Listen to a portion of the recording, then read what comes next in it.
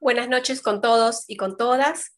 Con la venia del rector daremos inicio a la ceremonia de nombramiento al profesor Elías José Francisco Mujica Barreda como profesor honorario y a la profesora Ana María Gisbert South Coles como profesor emérito de la Universidad Antonio Ruiz de Montoya. Invitamos a la doctora Isabel Berganza Sartien, vicerrectora académica de la Universidad Ruiz de Montoya, a ofrecer las palabras de bienvenida. Doctor Rafael Fernández Hart, SJ, rector de la universidad. Profesor Enrique Durán, secretario general. Profesora Ana María Gispersau. Profesor Elías José Francisco Julio Mujica. Profesora Rocío Lombardi. Profesor César Escajadillo. Autoridades y público presente Deseo darles la bienvenida a este acto de reconocimiento de la profesora Ana María Gisper-Saut como profesora emérita y al profesor Elías José Francisco Julio Mujica Barreda como profesor honorario.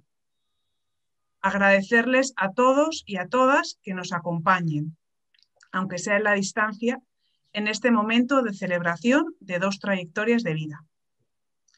Este reconocimiento que hoy entregamos es otorgado por el Consejo Universitario y tiene como objetivo reconocer a los y las docentes que han demostrado excepcionales dotes humanos y un extraordinario compromiso en sus actividades docentes y profesionales a lo largo de su vida. Es una alegría poder distinguir a dos de nuestros docentes por estos motivos. Los y las docentes, junto con los estudiantes, son sin duda el centro de la vida universitaria, la razón por la que existimos. Para desarrollar el modelo de universidad que deseamos, el perfil docente de la Ruiz se basa en diversos aspectos que se mencionan en nuestra política docente. Hoy quería hacer referencia a dos de ellos. Uno primero es ser persona. Con ello hacemos mención a docentes que, y cito textualmente, tienen conciencia de sí mismos para aceptarse, ponerse nuevas metas de crecimiento y reconocer a los demás.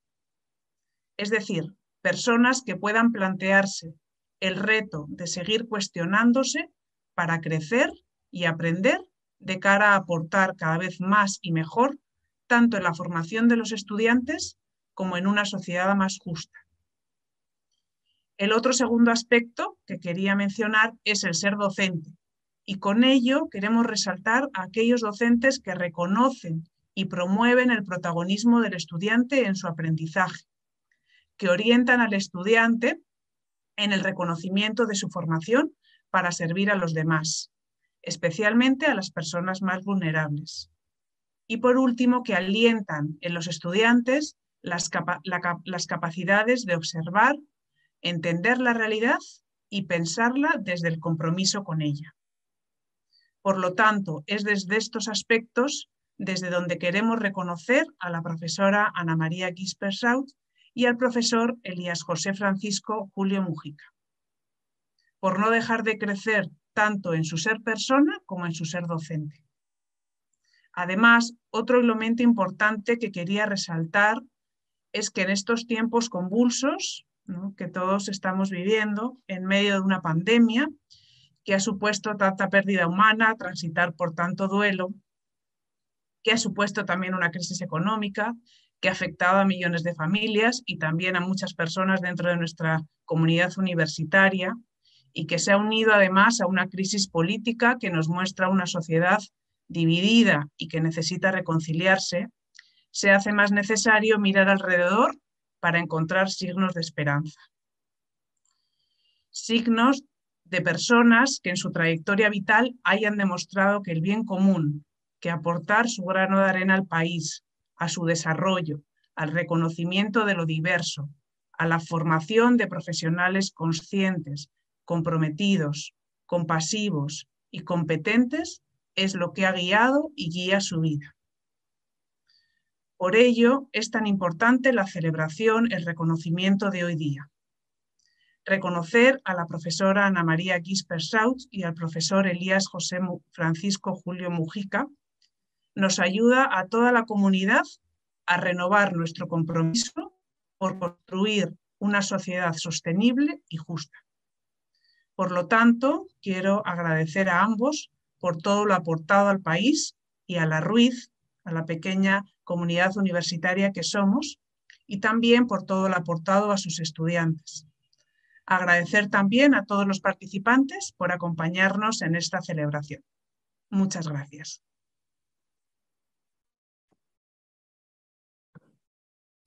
Muchas gracias, doctora Berganza. Invitamos al abogado Enrique Durán Padrós a leer la resolución del nombramiento al profesor Elías José Francisco Mujica Barreda como profesor honorario de nuestra universidad. Eh, buenas noches. Eh, previamente, permítanme leer una para encontrar el origen de esta condecoración. Eh, resolución del año 2010. Visto el acuerdo adoptado por el Consejo Universitario de Sucesión número 02-2010 realizada el 10 de junio de 2010, y considerando que el artículo primero del Estatuto de la Universidad establece que la universidad es una institución privada sin fines de lucro de la Compañía de Jesús, provincia del Perú, dedicada a la educación universitaria, a promover la investigación y la proyección a la sociedad. El literal eh, B del artículo 82 del Estatuto de la Universidad establece que el personal académico está constituido por B, profesores extraordinarios, que pueden ser eméritos, honorarios, investigadores o visitantes el Consejo Universitario de la Universidad, reunido en su sesión 02-2010 CU, acordó por unanimidad crear la medalla Juan Pablo Vizcardo Guzmán SJ, que identifique a los profesores eméritos y honorarios de la universidad. En mérito a las atribuciones que le otorga el Estatuto, el rector de la Universidad, Antonio Ruiz Montoya, resuelve. Artículo primero, crear la medalla Juan Pablo Vizcardo Guzmán a, entregarse a los profesores extraordinarios de la Universidad Antonio Arrué Montoya en los grados de profesor emérito y profesor honorario. Hace saber y archives. Doctor Vicente Santuc Labor, SJ, rector. Resolución 138-2021, UAM-R, Pueblo Libre, 17 de mayo de 2021. Visto el acuerdo octavo adoptado por el Consejo Universitario en su sesión extraordinaria de número 05-2021 CUE, realizada el 6 de mayo de 2021, y considerando que el literal B del artículo 119 del Estatuto establece que los docentes son B extraordinarios, pudiendo ser eméritos, honorarios y visitantes. Que el literal B del artículo 145 del Reglamento General de la Universidad dispone que los docentes extraordinarios en la categoría de honorarios son docentes que sin pertenecer a la universidad se han hecho acreedores por sus méritos a esta distinción. Son designados por el Consejo Universitario con carácter vitalicio. Em, que el Consejo Universitario, después de escuchar la propuesta de la vicerrectora, adoptó el acuerdo número 8 por el que se acordó incorporar a Elías José Francisco Julio Mujica Barrera como docente extraordinario de la Facultad de Ciencias Sociales en la categoría de profesor emérito, honorario, que, estando dispuesto por la resolución 048-2010 UAM-R del 11 de junio de 2010, y que en mérito a las atribuciones que le otorga el Estatuto de la Universidad, el rector de la Universidad, Antonio Ruiz Montoya, resuelve. Artículo primero incorporar a Elías José Francisco Julio Mujica Barrera como profesor extraordinario de la Facultad de Ciencias Sociales de la Universidad Antonio Ruiz Montoya en la modalidad de profesor honorario. Artículo segundo, entregar al profesor honorario Elías José Francisco Julio Mujica Barrera durante la ceremonia de incorporación a realizarse el miércoles 9 de junio de 2021 la medalla Juan Pablo Vizcardo Guzmán y el diploma que lo acredite como profesor extraordinario en la modalidad de profesor honorario de esta casa de estudios. de saber, cúmplase y archívese. Firmado, doctor Rafael Fernández Hart, SJ, rector. Gracias. Muchas gracias, abogado Durán.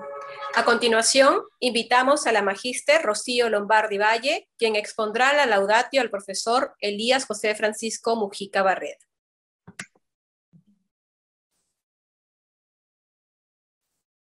Buenas noches con todos y todas, buenas noches a las autoridades y al público asistente eh, en esta ceremonia eh, virtual que el día de hoy nos convoca.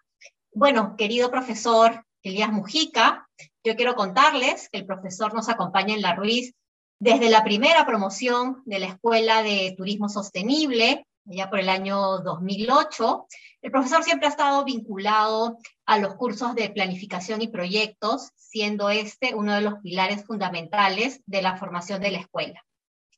Tengo el gusto de conocerlo casi, hace casi siete años, desde que asumí la dirección de la escuela.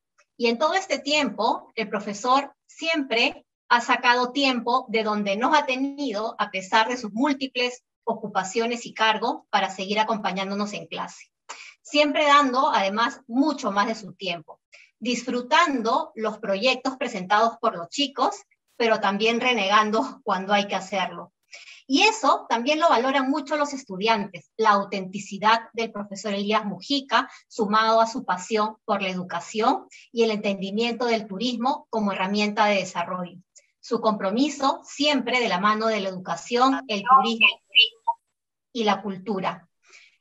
Fue todo un reto pasar del mundo presencial a la virtualidad, pero el profesor Mujica asumió el reto y fue una construcción mutua de aprendizaje de la mano de los estudiantes experiencia profesional por apoyo tecnológico. Todos aportaron para sacar adelante las clases virtuales. El profesor Elías Mujica es arqueólogo y antropólogo peruano con estudios de posgrado en la Universidad de Cornell de Nueva York. Ha sido, entre otros, consultor del proyecto regional para el patrimonio cultural, urbano y natural ambiental PNUD UNESCO para el asesoramiento y monitoreo del Comité Técnico Interinstitucional de la redacción del Plan Maestro de Machu Picchu allá por el año 94 y el monitoreo del sitio Patrimonio de la Humanidad de Chanchán en el 93. Consultor de ICOMOS para la evaluación de los parques de los parques arqueológicos de Tierra Adentro y San Agustín en Colombia, en el proceso de inscripción en la lista de Patrimonio Mundial de la UNESCO en el año 95 consultor del Centro Patrimonio Mundial de la UNESCO para la organización del Seminario Internacional sobre la Conservación y el Manejo de Joya de Serén y sus alrededores, San Salvador, del 95 al 96. De la Reunión Internacional de Expertos sobre Paisajes Culturales en los Países Andinos, y para la reunión regional temática sobre paisajes culturales en América Central en Costa Rica. Consultor de la representación de la UNESCO en el Perú para la evaluación de los lineamientos del Plan Maestro del Centro Histórico del Cusco.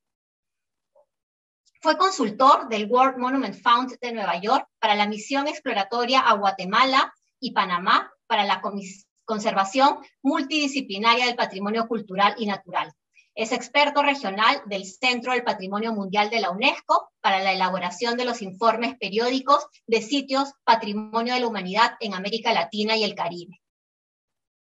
Consultor de UNESCO y de World Monument Fund de Nueva York, ah, perdón, em, para el programa de conservación, gestión y desarrollo sostenible de las misiones jesuíticas guaraníes consultor de la Dirección Cultural del Banco Central del Ecuador en Cuenca para evaluar la propuesta de la ejecución inicial del proyecto Parque Arqueológico Pumapungo, programa integral. Consultor de la Dirección Nacional de Desarrollo Turístico del Ministerio de Comercio Exterior y Turismo, MINCETUR, para la formulación del Plan Estratégico para la Promoción de Inversiones en el Sector Turismo en el año 2007 y consultor senior del patronato Huacas del Valle de Moche para el desarrollo del componente artesanal del producto turístico Huacas de Moche. Ha ejercido, entre otros, los siguientes cargos. Jefe del Instituto Nacional de Cultura, presidente de la Asociación Peruana para el Fomento de las, Ciencias, Sociales, coordinador adjunto del Consorcio para el Desarrollo Sostenible de la Ecorregión Andina y miembro de la Comisión Nacional Técnica de Arqueología de Perú. Consultor del Centro de Patrimonio Mundial de la UNESCO para los temas de autenticidad, paisaje cultural, revisión de la guía operativa y zonas de amortiguamiento.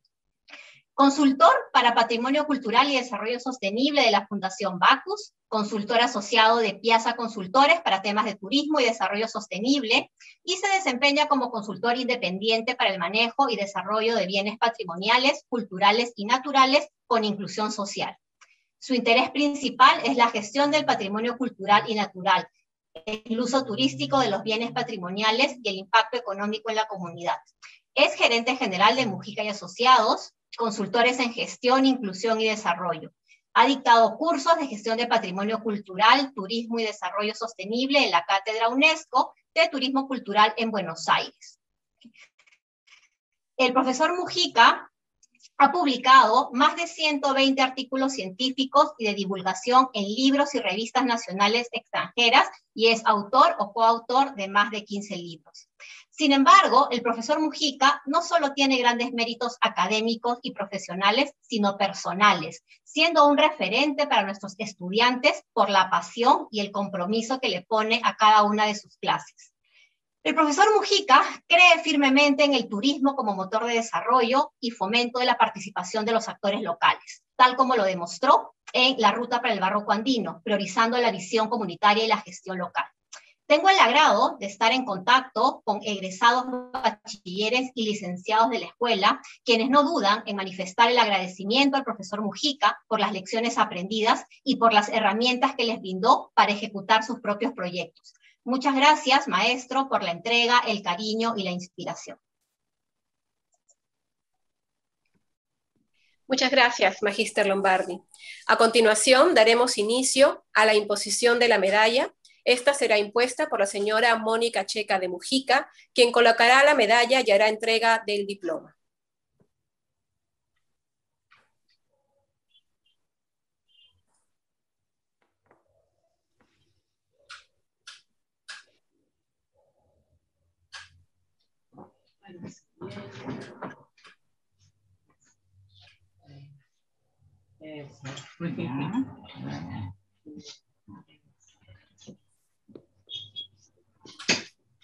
Brindémosle un fuerte aplauso.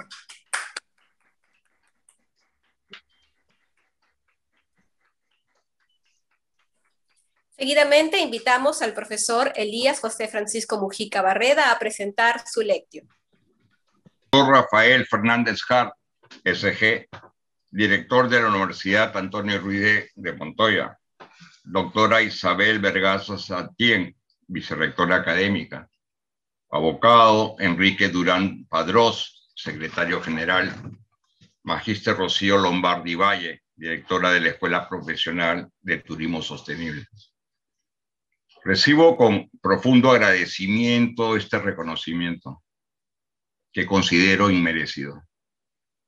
Inmerecido porque a lo largo de mi carrera profesional simplemente he seguido inescrupulosamente un principio esencial en mi propia condición humana, compartir el conocimiento en las aulas académicas, así como en la vida cotidiana, como una convicción personal de la importancia de servir al bien común y de la impetuosa necesidad de fortalecer las capacidades de las generaciones futuras.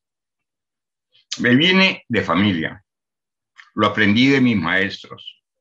Lo fui permanentemente profundizando en mis relaciones cotidianas con alumnos y colegas durante mis trabajos de campo. Pero, sobre todo, y lo recuerdo con muchísima claridad, fue un lejano 1975 en las reuniones con los campesinos y pobladores de Pucará, Puno, bordeando los 4.000 metros sobre el nivel del mar, cuando descubrí que la ciencia no era suficiente. Y no tenía sentido si no sabía compartir mis hallazgos y sus significados con aquellas personas con profundas raigambres en cuyos territorios investigaba. He sido profesor académico de dos prestigiosas universidades limeñas durante largos años y a diferentes niveles, Dejé de serlo durante mucho tiempo por la necesidad de moverme por lo largo y ancho del país, por mis proyectos de investigación y mis consultorías. Me contentaba dando cursos de diplomado y maestrías en distintos países. Los disfrutaba. Pero la academia siempre estaba en mi mente como una suerte de necesidad innata. Hasta que, tal vez por el azar, volví a engancharme en la enseñanza formal, por llamarla de alguna manera, en la Ruiz de Montoya. Necesitaba en ese entonces un aliado estratégico del área de turismo para darle una gestión holística a la gestión del patrimonio cultural y natural, que es la, en realidad mi interés principal, como bien lo ha mencionado Rocío. Recurrí a Ruiz, a la Ruiz, por mi amistad con María Antonia Pavínez García, quien coordinaba la especialidad de turismo sostenible, con el propósito de proponerle un trato. María Antonia, tus estudiantes necesitan hacer trabajo de campo y yo lo necesito en agua que la luna. Conversemos, me contestó María Antonia.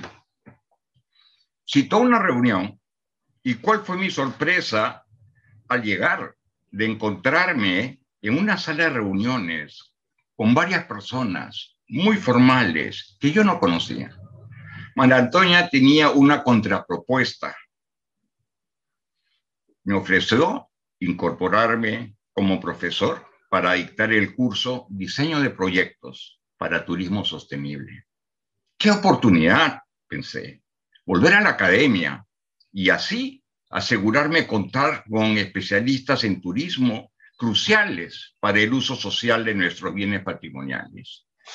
Pero había un problema.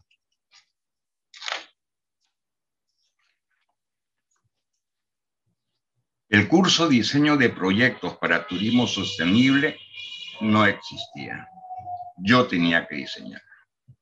Gracias, Juan Antonia, por tu iniciativa. Gracias a todo el apoyo durante tantos años. Y gracias a Vicente Santuc, SJ, rector de nuestra casa de estudios en esos tiempos, por las largas conversaciones compartiendo su visión del mundo, del país y de la universidad, que, que me demostraron que se trataba de una universidad diferente. Y así comenzó una nueva etapa de mi vida.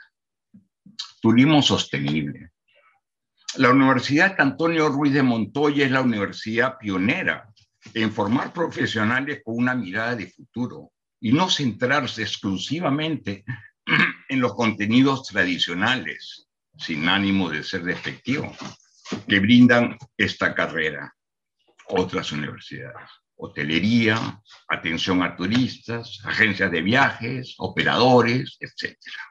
En resumen, solo para darles una idea, en base a la formulación de mi curso, buscamos el desarrollo de conocimientos y habilidades para el manejo competente de las herramientas básicas en el diseño, formulación, redacción y presentación de proyectos que conlleven a la generación de empleo y mejora de ingresos de pobladores que puedan beneficiarse del creciente flujo de turismo en aquel entonces en el Perú, tanto interno como receptivo, en base a productos turísticos apropiados. Nuevamente, nos concentramos en la generación del bien común.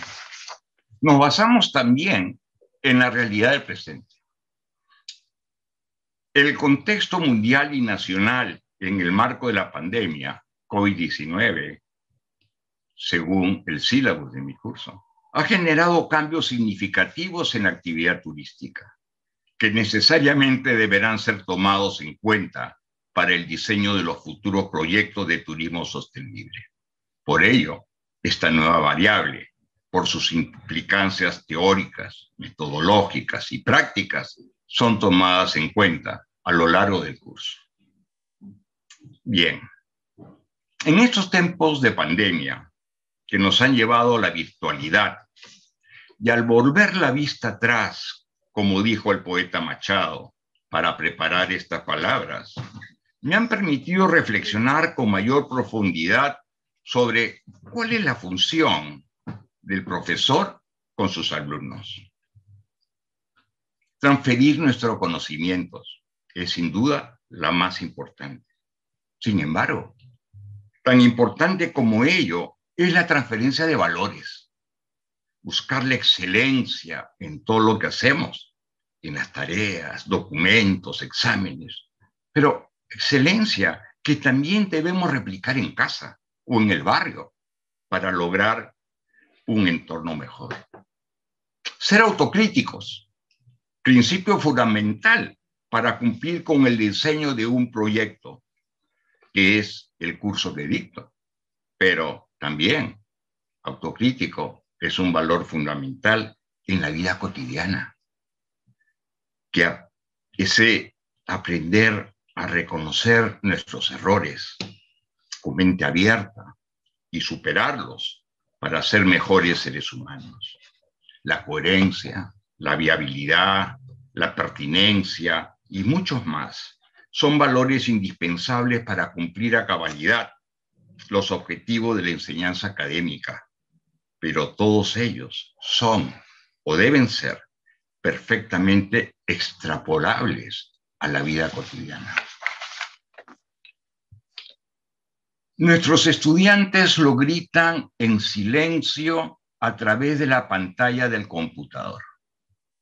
En una época tan complicada como la que vivimos, exigen de múltiples formas a los profesores, no solo ser maestros y darles una buena formación académica, piden también que seamos hermanos mayores y les demos el soporte emocional, espiritual y ético que les ayude a entender el mundo en que vivimos.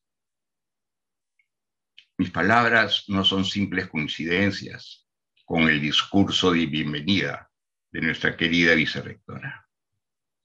Recibo con profundo agradecimiento este reconocimiento, señor rector y dignas autoridades, porque es para mí una muestra que el camino que me tracé hace ya tantos años era el apropiado. Ser profesor es una pasión porque me permite contribuir con el bien común en nuestro país. Pasión ampliamente profundizada gracias a la vocación humanista de la Universidad Antonio Ruiz de Montoya, promovida por la Compañía de Jesús. Muchas gracias.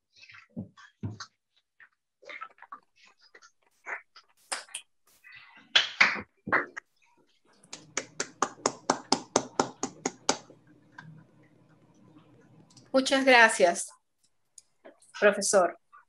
Eh, a continuación, invitamos al abogado Enrique Durán, secretario general de la Universidad Luis de Montoya, a leer la resolución de nombramiento a la profesora Ana María Gispersau como profesor emérito de nuestra universidad.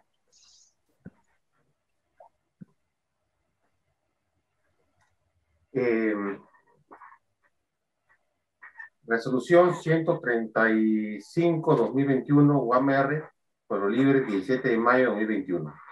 El rector de la Universidad, Antonio Ruiz Montoya. Visto el acuerdo número 5 adoptado por el Consejo Universitario en su sesión extraordinaria número 05-2021 CUE, realizada el 6 de mayo de 2021. Y, considerando que el literal A del artículo 119 del Instituto establece que los docentes extraordinarios pueden ser eméritos. Que el literal A del artículo 145 del Reglamento General de la Universidad dispone que los docentes extraordinarios en la categoría de méritos son docentes designados como tales de manera vitalicia por el Consejo Universitario, previa recomendación del vicerrectorado académico e informe del departamento académico. Que el decano de la Facultad de Filosofía, Educación y Ciencias Humanas con el respaldo de la vicerrectora académica, propusieron al Consejo Universitario la incorporación de Ana, de Ana Dispert, Ana María Dispert South Pols como profesora emérita de la universidad. Que, por acuerdo número 5, optado por el Consejo Universitario en su sesión extraordinaria del 6 de mayo de 2021, se acordó incorporar a Ana María Dispert South Pols como docente extraordinaria de la Facultad de Filosofía, Educación y Ciencias Humanas, en la categoría de profesora emérita.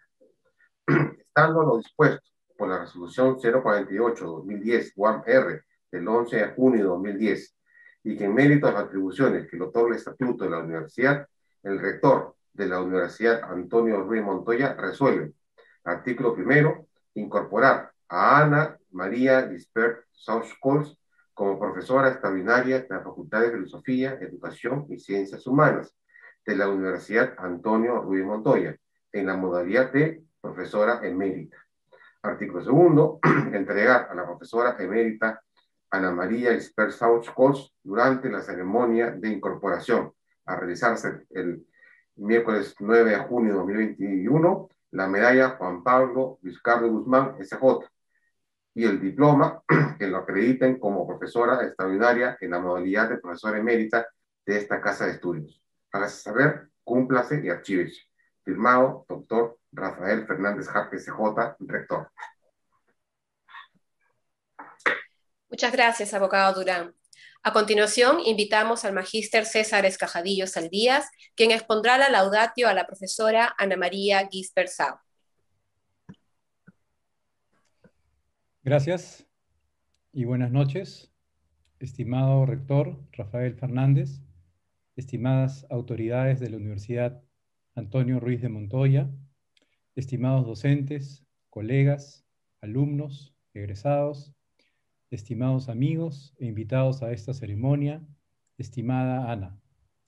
Tengo el honor de dirigirme a ustedes para compartir algunas palabras con ocasión de esta ceremonia de reconocimiento a nuestra colega y amiga, la profesora Ana Gispert, como profesora emérita de la Universidad Antonio Ruiz de Montoya. Un docente emérito, como nos ha recordado la vicerrectora académica Isabel Berganza, se caracteriza por sus excepcionales dotes humanas y por la eminencia de sus labores en la docencia o en la investigación desarrolladas dentro de la universidad. El Consejo Universitario ha decidido reconocer a Ana Gispert con esta distinción, la más alta dentro de la carrera docente, por lo que me corresponde ahora señalar por qué considero justo este reconocimiento a nuestra colega y amiga. Por supuesto, ello requiere hablar de la impecable trayectoria académica de Ana, quien es licenciada en Filología Clásica por la Universidad de Barcelona y cuenta con estudios de posgrado en Sociología por la Pontificia Universidad Católica del Perú.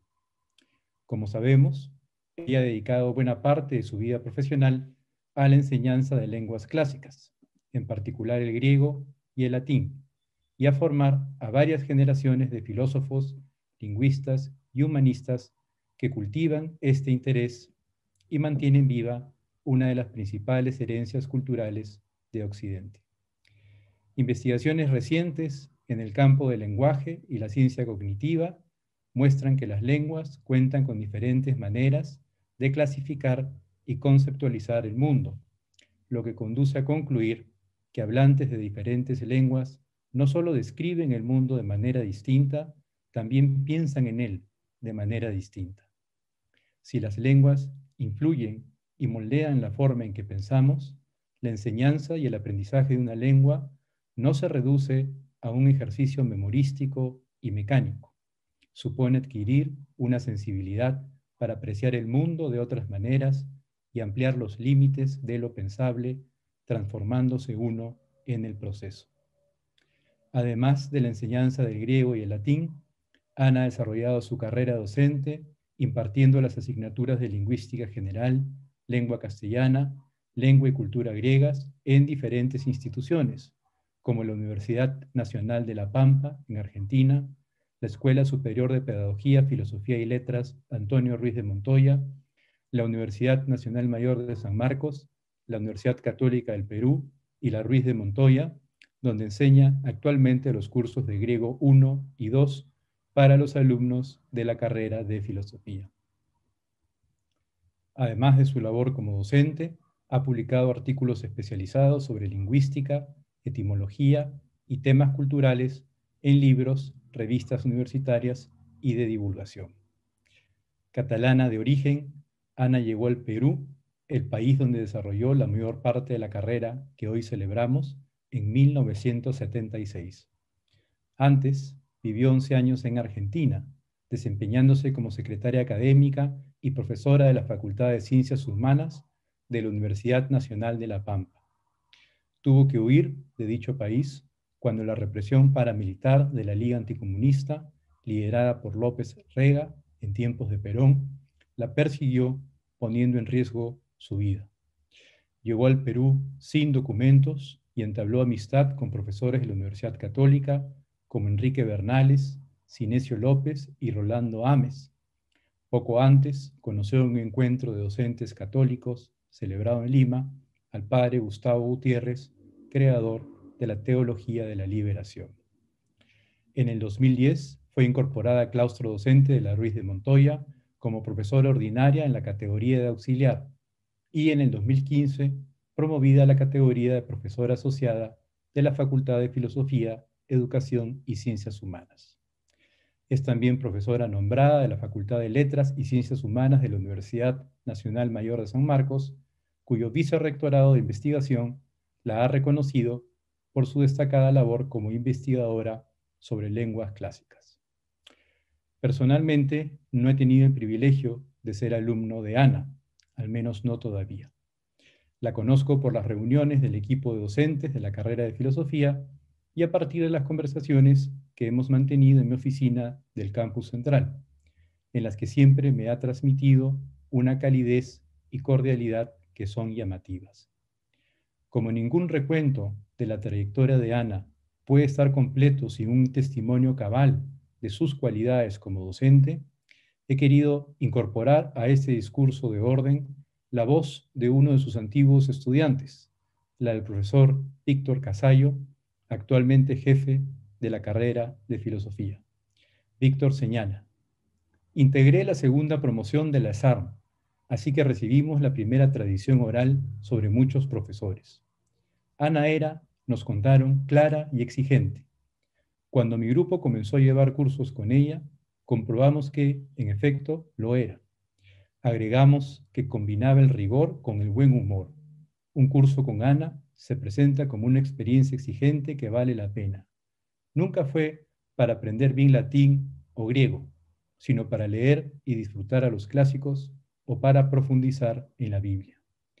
Todos habíamos escuchado que el latín y el griego te dan estructura para comunicarte mejor, sobre todo en forma escrita.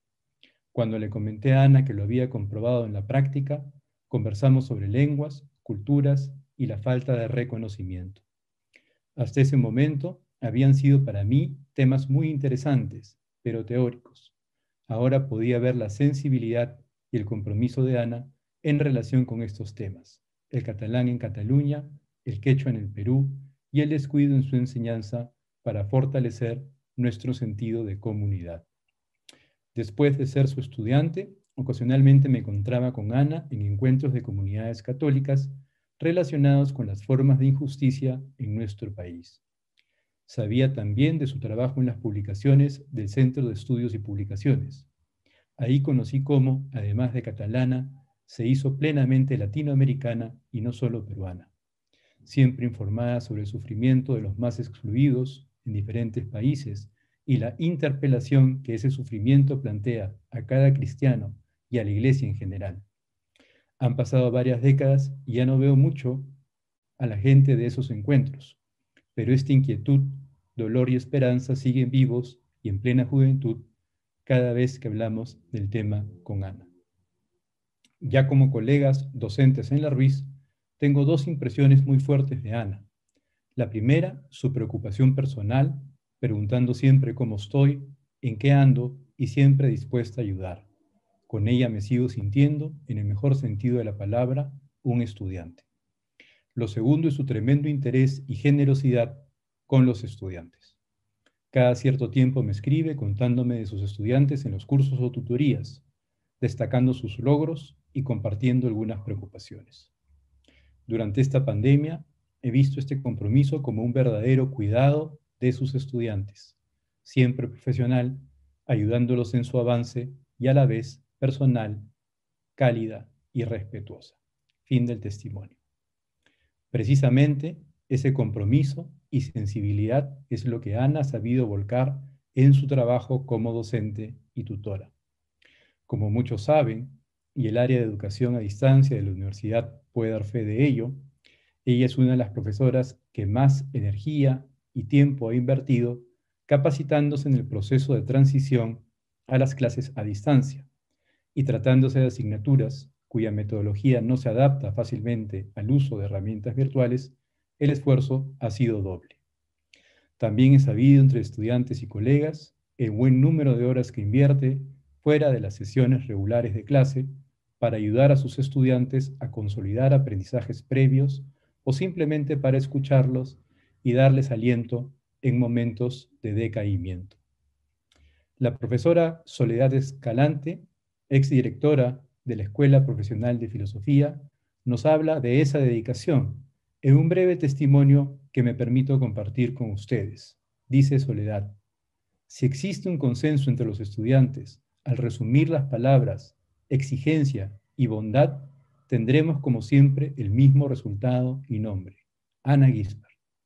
Su preocupación a los detalles y su rigor al momento de conocer a las personas son características inexorables de su grandeza como persona. Muestra de ello fueron las constantes asistencias de sus estudiantes a la oficina de la dirección de la escuela para demostrar que la profesora era una persona noble en su conocimiento, no solamente en su pasión por los clásicos, sino en su pasión pedagógica. Tenía la capacidad de conocer a sus, estudiantes como pocos y describirlos de tal manera que la precisión queda como palabra insuficiente. Esto fue estimulante en sus estudiantes y los testimonios sobran. El tiempo otorga grandeza a las personas que saben dejar lo mejor de sí en cada clase. A nadie le cabe duda la huella de Ana entre los pasillos de la Ruiz, que es como su segundo hogar, un espacio en el que ella se siente cómoda y que ve con mucho afecto. No es casual su presencia y su atenta mirada al tiempo que miraba entre sus estudiantes, ni qué decir de su responsabilidad como docente. Esta se vio manifestada en su presencia constante en cada reunión y en sus regulares visitas para manifestar sus preocupaciones por un alumno u otro, su sorpresa por los grandes progresos de otro. En realidad, el tiempo y el espacio representados en las palabras son insuficientes para describir una personalidad como la de ella. Sin embargo, unas palabras sinceras de agradecimiento es lo mínimo que cada uno de nosotros podría tener con un ser humano valiente y crítico. Su persona y su quehacer docente representan muy bien a las humanidades en la Ruiz. Profesora Ana Gisbert siempre tendrá nuestro reconocimiento. Fin del testimonio. En la conversación que tuve con Ana para informarle sobre la decisión del Consejo Universitario de reconocerla como profesora emérita de esta universidad, con su sencillez habitual, me expresó su extrañeza por este reconocimiento. Creo que se han equivocado de persona, me dijo. Me habló también de sus hermanos jesuitas, de la familia que ha formado en el Perú, con la que retorna cada cierto tiempo a España para visitar a familiares y amigos, y de su padre, quien tuvo una larga carrera docente como ella y estoy seguro dejó una profunda huella en su personalidad y vocación. No cabe duda que todas estas cualidades encarnan los principios que inspiran a la universidad y orientan su actividad, especialmente aquellos relacionados con la centralidad de la persona y su formación integral, la búsqueda de la verdad en diálogo con otras tradiciones, el servicio de la fe la promoción de la justicia, el respeto a la diversidad y la defensa de los derechos humanos. Repasando, entonces, y ya para concluir, las razones que motivan y justifican la incorporación de Ana Gisbert como profesora extraordinaria y emérita, es oportuno reconocer la excelencia que ha caracterizado el trabajo de Ana a lo largo de estos años, así como las excepcionales dotes humanas que la convierten en un ejemplo para nuestra comunidad. Por todo ello, te agradecemos profundamente, Ana, y felicitamos por este justo reconocimiento. Muchas gracias. Muchas gracias, Magíster Escajadillo. A continuación, daremos inicio a la imposición de la medalla. Esta será impuesta por María Gracia Borrell, hija de la profesora Ana María Gisper, quien colocará la medalla y hará entrega del diploma.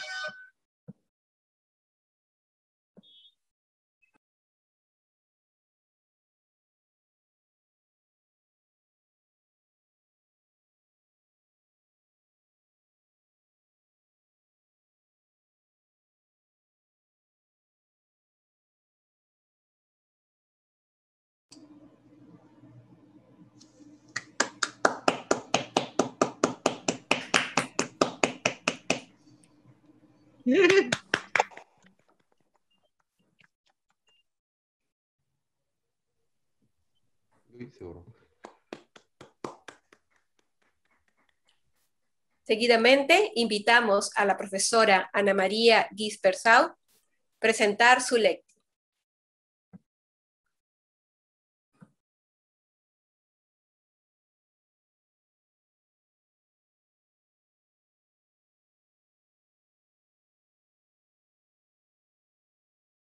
Es, ya no sé.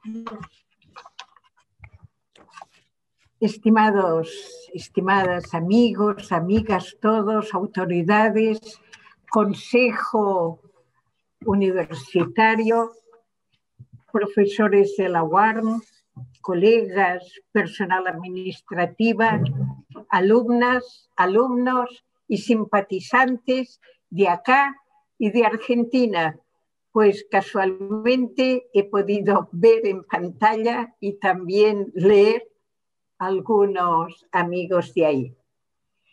Realmente es para mí un día memorable y un honor recibir la distinción de docente emérita. Decir esto, créanme, no es una frase protocolar. La recibo con alegría y humildad a la vez ser docente no ha sido una carga para mí. Me ha permitido realizar mi vocación. Yo creo realmente heredada de mi padre, maestro de primaria en escuela pública de Barcelona, donde enseñó con verdadera vocación durante 50 años.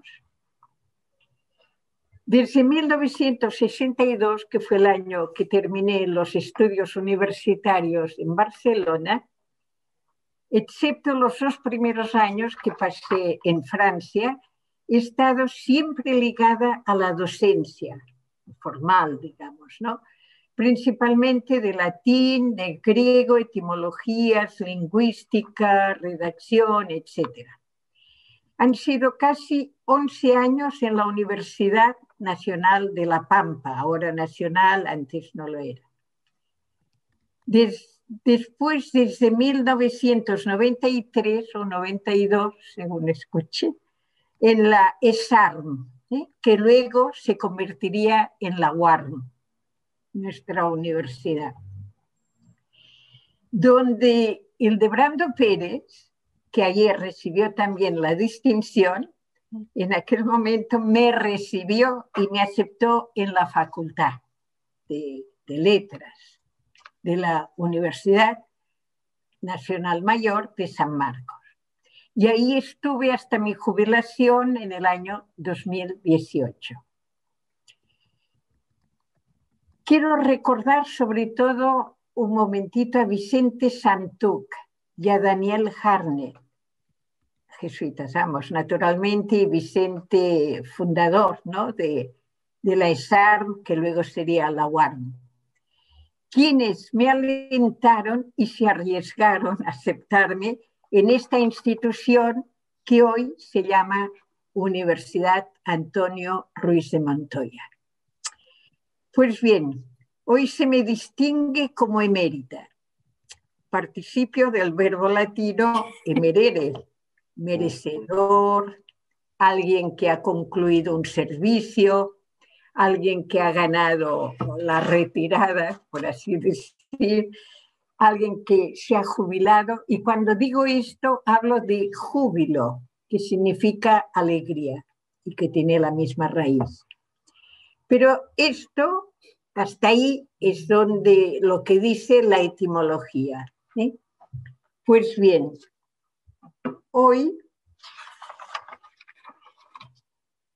puedo decirles con toda sinceridad que la etimología no siempre coincide con la realidad. Según nuestro sentir, y en este caso también mi sentir, el servicio de una u otra manera nunca termina mientras hay vida. Así quiero entenderlo y vivirlo. Es jubiloso para mí poder transmitir algunos conocimientos que tuve la suerte de recibir de otras personas, conocimientos que han sido, yo diría, amasados, ¿no? De alguna manera, de modo que puedan ser profundizados y enriquecidos por quienes lo reciban. La UARM hoy me honra con este jubiloso merecimiento por una tarea un servicio que he ido realizando a lo largo de estos 28 años jubilosos, sin duda con imperfecciones y limitaciones de mi parte. Mi agradecimiento más sincero a la UARM. La UARM es una universidad jesuita que conmemora este año los 500 años de la transformación podemos decir, la conversión, el gran cambio en la vida de Ignacio de Loyola, fundador de la Compañía de Jesús. Conmemorar es hacer memoria, es recordar. Y cuando decimos recordar, normalmente ponemos el gesto, la mano en la frente, en la cabeza, cuando etimológicamente deberíamos ponerla en el corazón. Recordar es volver al corazón. ¿eh? Hacer conmemorar es hacer esta memoria de momento y por tanto hacer un cambio radical. Nuestros jóvenes dirían hoy un cambio de chip, ¿no? Dicho en griego, podríamos hablar de la metanoia, ¿no? Un cambio en la manera de pensar, el nous y el metano un cambio en la manera de pensar y por tanto de proceder. Esta es la conversión que todos esperamos y a la que aludimos. Pasar del interés personal al servicio de quienes más lo precisan. Y creo que la docencia debe ser esto, un servicio permanente que opera en distintos modos, puede ser en las aulas, en las organizaciones, en las responsabilidades civiles o ciudadanas, como un aporte al pueblo, a la sociedad, al país. Y siguiendo la inspiración ignaciana, ese verbo, ese grito que aparece ya ¿no? en el capítulo primero del, del evangelista Marcos, que es el metanoiete. Metanoiete, antes hemos hablado de metanoia, ¿no? Conviértanse, nos lleva realmente a comprometernos. ¿Y comprometernos a qué? A la acción transformadora. Y vaya, si tenemos aspectos para cambiar hoy en nuestra sociedad peruana, tan desigual con tantas carencias, con tantas injusticias e iniquidades. La docencia en la UARM me ha dado la posibilidad de poder transmitir a los alumnos una parcela del saber, chiquita, por cierto, pero pensemos siempre que saber, sabor, saborear, todo ello tiene la misma raíz latina se sabe aquello que se puede saborear. Saboreamos aquello que sabemos. A mis alumnos les pido que olviden y excusen mis deficiencias en mi tarea docente, a veces alguna desesperación, algún grito, algún, alguna palabrita, pero eso sí, que sepan que realmente los he querido y los quiero muchísimo, mucho. Y sepa también toda la comunidad de la UARM que esta distinción, este diploma y esta medalla ¿eh? que hoy me, me ofrecen, representa para mí aún una mayor exigencia de estar al servicio de, de, todo aquello que ustedes consideren más útil y más conveniente. Ahí estaré. Palabra de maestra.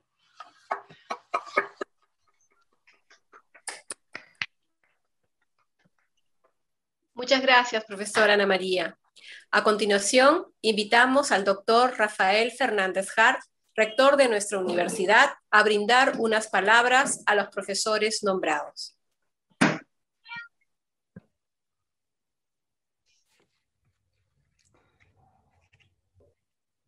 Vicerrectora académica de la Universidad Antonio Ruiz de Montoya, doctora Isabel Berganza, señores decanos, autoridades todas, apreciada profesora Ana Gisper, apreciado profesor Elías Mujica, amigos y amigas. Em, tres o cuatro cosas en verdad que quisiera decir y trataré de hacerlo sin, sin leer mucho mi texto, sino de manera un poco más eh, coloquial, eh, quizá para devolver también a este acto, además de su, cierto, su formalidad, por supuesto, pero también la calidez que tiene y que pretende tener este acto. Em, y que se resumiría probablemente en un estrecharse las manos o en un estrecharse en un abrazo, eh, cosa que evidentemente no podemos hacer. Em, un abrazo o un estrecharse las manos que representaría mejor que nada Em, nuestro reconocimiento, es decir, nuestra gratitud. Reconocemos porque estamos agradecidos por el trabajo realizado eh, a lo largo de tantos años, desde el primer momento en que nació la carrera de turismo sostenible, en lo cual fuimos en efecto pioneros, o desde que nació la escuela eh, y la universidad con una disciplina que ha tenido que abrirse paso en un eh, medio, bueno, ambas carreras, en un medio muy competitivo. Em, estamos, por lo tanto, muy contentos en la universidad de poder extender, agrandar nuestro claustro universitario con, con dos docentes muy queridos por sus estudiantes y por los egresados. Tengo el gusto, además, y la alegría de haber sido eh, alumno de Ana Gisper, de Ana, de Anita hace muchos años, eh, con la alegría, bueno, de aprender tropezándome con el griego, tratando de eh, aprender a ser mis primeros pininos. Ya solo el hecho de haber sido y ser queridos ambos por sus estudiantes y por los egresados, ya solo ese, ese solo hecho sería suficiente para un reconocimiento de este tipo, de esta envergadura. Porque eso habla de un vínculo, de la capacidad de crear un vínculo. Eh, y sin embargo, y justamente en ese vínculo, ser capaces de formar. Formar eh, no significa salir del vínculo afectivo, sino desde ese vínculo afectivo ser capaces de dar forma, a los estudiantes, aquello que necesita la universidad, aquello que necesita el país. Y sin embargo, si eso no fuera suficiente, que lo es, eh, sobre esta cualidad eh, enorme, humana, y que hoy es tan apreciado y que se llaman eh, cualidades blandas, sobre esa cualidad se suma el conocimiento, la destreza, la experiencia docente. Entonces, por todo ello estamos muy contentos, jubilosos, para retomar la palabra que ha utilizado Ana, jubilosos. Lo segundo que querría decir es que, por supuesto, es imposible abstraerse, hacer abstracción del contexto en el que nos encontramos. Estamos en un contexto en el cual desde hace mucho tiempo ya, muchos meses, repetimos la palabra crisis. Crisis sanitaria que ha traído de inmediato como una especie de bola de nieve una crisis económica, eh, rampante, difícil, donde se subrayan o crecen las desigualdades en el país y en el mundo. Crisis, además, en el Perú, política cada vez más eh, pesada, más difícil, más densa, y finalmente una crisis moral como la que nos atormenta desde hace tanto tiempo en el país. Y en ese contexto, además, nos encontramos con una situación de polarización por el proceso electoral, que no termina, como sabemos, y que todavía amenaza, nos amenaza con crear más divisiones y más fragmentación, como si nos hiciera falta fragmentarnos. Evidentemente que no nos hace falta ya más fragmentación, al contrario. Y en ese contexto entonces de crisis que es una palabra también, por cierto, muy bonita del griego, en ese contexto de crisis, eh, surgen, pues, eh, surge evidentemente la, la, la, ¿cómo diríamos? La encrucijada. Estamos ante encrucijadas. Y en esas encrucijadas solemos mirar en dirección de testigos y de personas que den testimonio de una vida coherente. Y justamente creo que en ese contexto es fundamental un homenaje y un reconocimiento como este. Porque miramos en dirección de personas que nos han precedido, nos preceden, nos muestran el camino y que dan, han hecho y dan testimonio de las necesidades que tenemos frente a estas situaciones de encrucijada.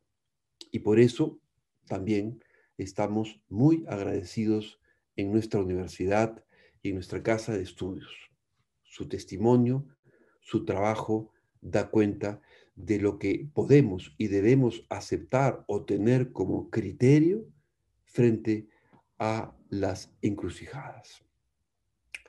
Encrucijadas, y este es mi tercer y último punto, en el cual surge fácilmente el mal entendido. El mal entendido.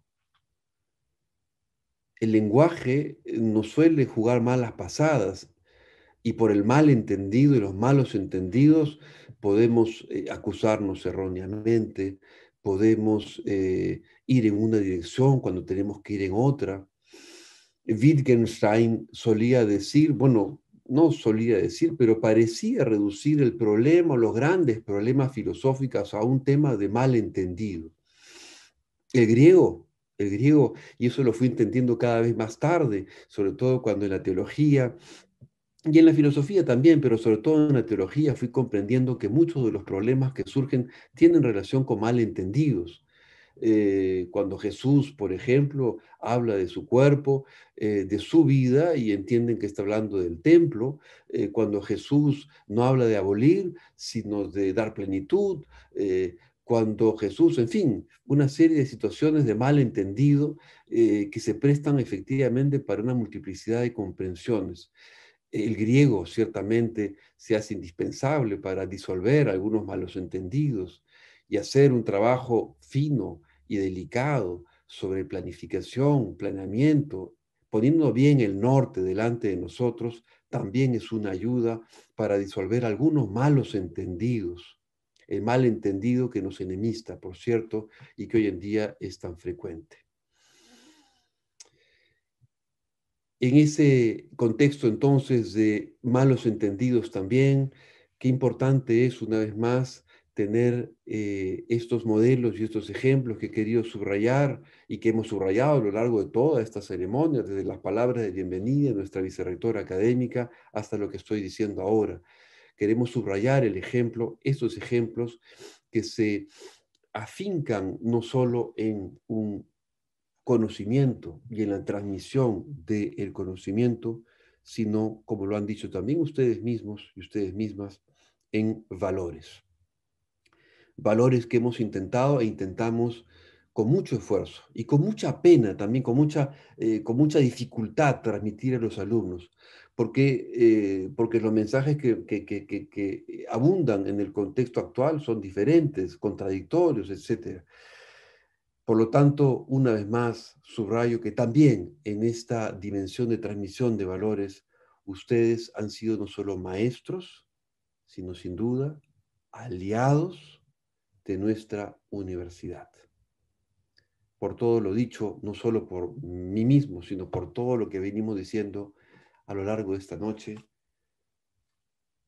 Elías Mujica, Ana Gisper, muchas gracias. Muchas gracias, doctor Fernández. Señores y señoras, la ceremonia de nombramiento de profesor honorario y profesor emérito ha concluido. Agradeceremos prender sus cámaras y así poder tomar fotografías de su participación. Buenas noches y muchas gracias por tu gentil asistencia.